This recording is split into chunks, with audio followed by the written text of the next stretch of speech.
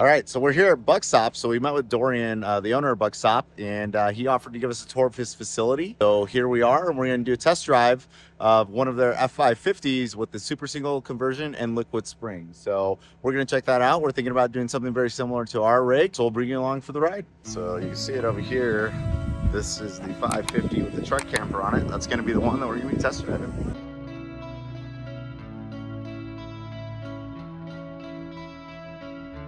So what else is in this particular truck? Liquid spring. Two inch, two inch front lift, four inch rear.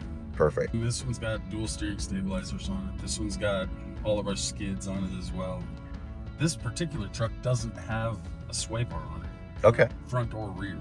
Do you find th- that the liquid spring kind of compensates for that so you don't need the sway bar? Yep. Gotcha. But no negative effects on this. These things are built for tractors and everything back in the day, right? So, Lining equipment originally. yeah. What tires on this right now? This is the Goodyear. This tire is significant, significantly quieter and rides nicer. And for the people watching this, uh, you can't hear it. It's a, like a low hum. So you can definitely hear the tires, but you know, I've had 42 inch mud terrain tires that sound more like a, a prop or a propeller in an airplane, and these are just a nice low hum. They're significantly quieter. Perfect. And it's easy for me to have phone conversations. Yeah, I mean, yeah. I, I mean, we're talking normally going 45 to 50 and no problems. Yeah, what kind of air pressure do you guys run in the tires?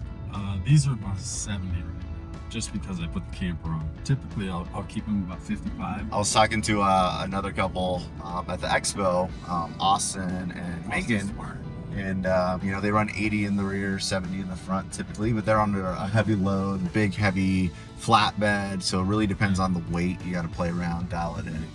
You guys do proprietary wheels too, right? So you guys have the Goodyear tires on them right now. Seems like a fantastic choice for anyone that's not going to be on the dirt 90% of the time. And the ride is smooth, like very smooth. What do you think, Nate?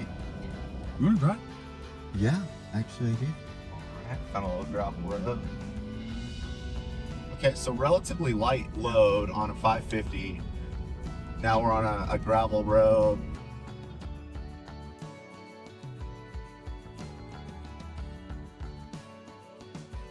Honestly, I've been in F-150s that ride worse than this. So under 13 miles an hour, the system's completely open, so you get crazy flex out of this. Full articulation of it. I love that. Yeah, so that was impressive, by the way. I just want to throw that out there. You know, that's uh, it wasn't even crazy thing off-roading, but if you're, you know, like us, we're going down to Moab, you know, we're hitting a lot of these washboard roads, or just get things get muddy or rained out and rutted out. You know, the fact that the big tires flow, it tracks great. That's the thing that I don't think anyone talks about. That's Going that's, from dually to single, you know, we were in the ruts and we weren't getting thrown around. these tires have 30,000 miles. Really? Yeah. This set, Yeah. and they still look like new. Yeah. Honestly, the amount of it side by side to a new tire, there's not a lot of difference. So, what would you say the life is of a tire like this? You get 50 out pretty easily. Yeah, How's it hold um, alignments on these?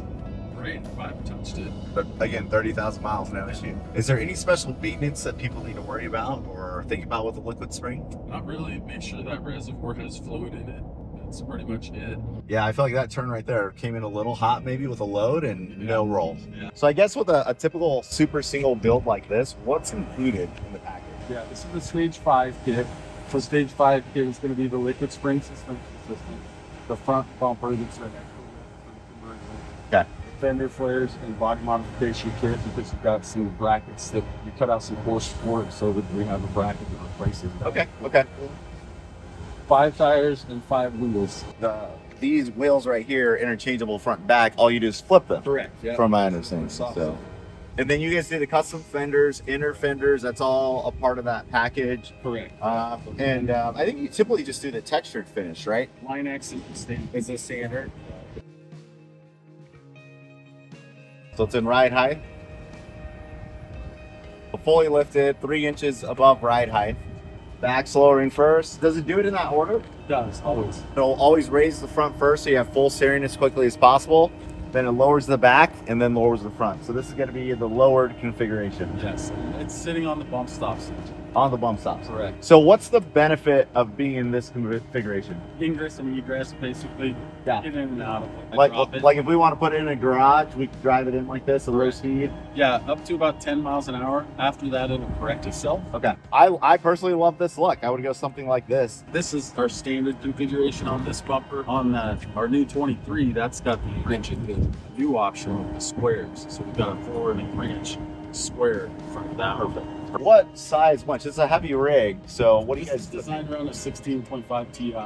You know, I've seen some people with big rigs run the hydraulic stuff. Do any of your bumpers support something that They big? do. Yeah, we have an industrial option. Okay.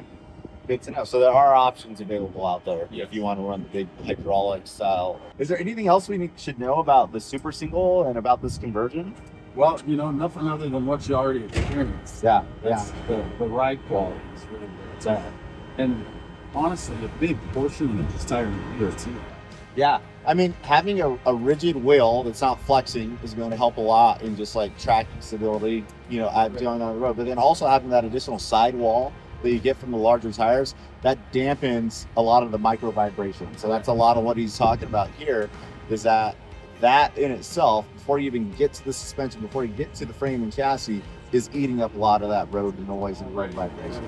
What would be a typical lead time if they wanted to do something like this with Buckstop? Right now, we're about 12 weeks out. Okay. We're trying to bring that down. We've got a manufacturing facility that we started in Pickering, Texas. Okay. Yeah. So 12 weeks, give them a call. You'll have your truck in here, and then another one week or so. that, You're, you're hitting the, road. yeah, you're hitting the road. So that's awesome. And then stage one to stage five, as I said, so you have options. And where does that range in the price range going from low to high? The basic kit, you're going to be about 17000 Okay. kit, which that would include the lift kit, our lift kit that we manufacture here. Five tires, five wheels, bumper, and fender flares. Okay. I usually recommend people starting with stage two kit Okay. because it solves some other problems. You're going to be in the 19,000 range Okay. for the product. Stage five, full liquid spring kit, it's uh, about 42,000. The really, we're looking at around 19, you know, on the low end for something that's going to solve a lot of issues, be Yeah. ready to go, hit the road, hit the trails, all the way up to 47. Correct. as we see here, the parts and then plus the install. So depending where, when, time, that may change. But um, I mean, yeah, this is a fantastic rig, and really, it takes us about anywhere, right? Yeah, yeah. Go anywhere you want to go. Cool. Well, thanks, guys. Hope you all enjoyed that. And uh, if you guys want to check out more information, Buckstop's Yeah. website, Yeah. what can they find out Yeah, more? yeah, buckstopinc.com. Yeah, or call us here at the shop. I'm the single wheel guy, so get a hold of me. Yeah, awesome. So we'll put those links at the bottom of the description. Thank you. Thanks a lot.